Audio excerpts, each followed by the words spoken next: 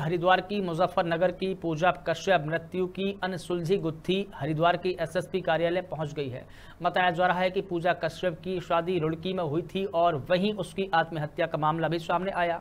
वहीं परिजनों का मानना है कि पूजा की हत्या उसके ससुराल वालों ने की है और पुलिस इस पूरे मामले में सही दिशा से जाँच नहीं कर पा रही है। जिसको लेकर एसएसपी को परिजनों ने शिकायती पत्र दिया है, जिसमें उन्होंने अपनी जाँच अन्य जगह स्थानांतरित करने की गुजारिश की है। इस दौरान एसपी अजय गणपति ने कहा कि पूजा कश्यप की आत्महत्या की बात सामने आई है, जिसकी पुलिस गहराई से जाँच कर रही है। हरिद्वार से नरेश तोमर की रिपोर्ट।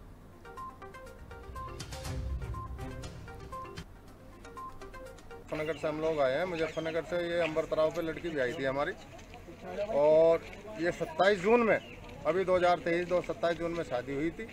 इस लड़की का इन्होंने कत्ल कर दिया तीन जून में ती, तीन तीन तीन तीन सितंबर। को। और कत्ल करने के बाद सूचना भी नहीं दी। फिर ये लड़के जो है इनकी दूसरे ने फ़ोन करा इनके करने के बाद दोबारा। कि लड़की ने जो है आत्महत्या कर ली आत्महत्या कर ली। ये मामला जो है, ये लोग आए, हम लोग आए, सब लोग देखा, सब कुछ परिवार ने भी देखा। लड़की नीचे लेटी हुई थी, गले पे निशान था लड़की के यहाँ, चुन्नी पड़ी हुई थी। और लड़की बगैर मेकअप की थी, फिर मेकअप कर दिया गया, जलाने की पूरी तैयारी थी लड़की की। सीओ वहाँ की साज खाई हुई थी इससे। लड़की थी, सत्ताईस जून की शादी थी लड़की की। और इन्होंने देख मार दी तीन महीने के अंदर अंदर। और कार्रवाई कुछ नहीं कर जी।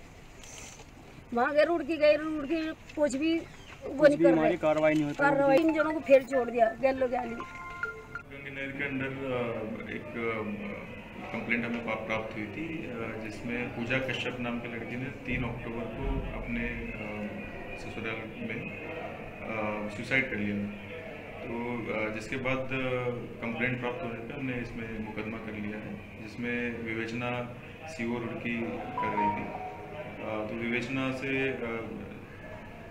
उनके परिवार वाले जो है, वो अनसेटिस्फाइड थे तो आके इन्होंने आज रिप्रेजेंटेशन दिया था। विवेचना उसकी चल रही है।